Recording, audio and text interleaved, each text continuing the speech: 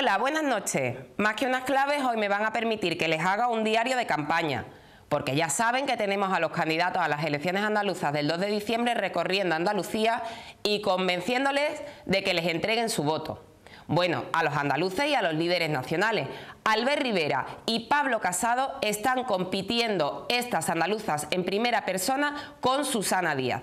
PP y Ciudadanos pelean por ser la primera fuerza política en la derecha española y andaluza.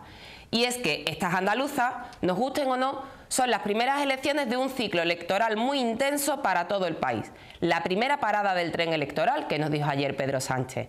Las encuestas coinciden en que el PSOE volvería a ganar pese a sumar 36 años ininterrumpidos en el gobierno de Andalucía.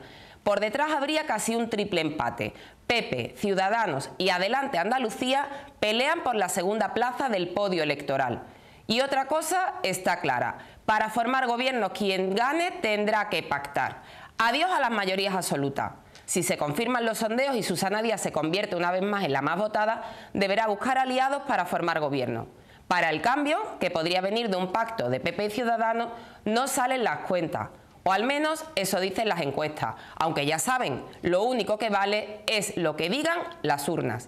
El escenario que se dibuja es de posible bloqueo y de mucha inestabilidad política, con un PSOE que gana en minoría y tres fuerzas por detrás en el Parlamento andaluz bastante igualadas.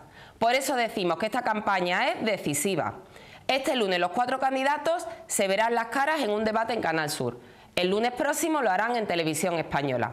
Andalucía se convierte una vez más en el laboratorio electoral del resto del país. Pero ojo, que aquí los andaluces tenemos nuestras peculiaridades y quizás no todo sea extrapolable. Pedro Sánchez no se aclara. El domingo nos dijo en Chiclana que no tiene ningún interés en convocar las elecciones generales, como por otra parte le pide toda la oposición.